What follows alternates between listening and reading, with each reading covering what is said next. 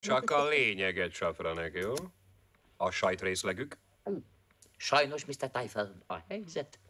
Szóval fél siker. Hmm, hogy, hogy. Mire a munkacsoportunk odaért, már a készlet felét levitték a raktáraikba. Megint azok az átkozott egérjukak. Gondolja, hogy kiszagoltak valamit? Kizárt dolog, Mr. Tyfel. Köztünk nincs áruló. Akkor nyilván megint kényelmesek voltak az urak.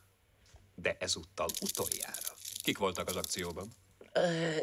Mm, Foltos Jimmy és a 87-es üzemegység. Likvidálni őket. Igenis, golyó, méreg. Pazarlás, safranek. Követ a nyakukba és a folyóba velük. Igenis, Mr. Tyfel. Az özvegyeknek gyászruha hozzájárulás, baleseti segély. Semmi. A szokásos részvételtávirat az elnöktől. És az árváknak egy darab nyalóka. Persze fejenként.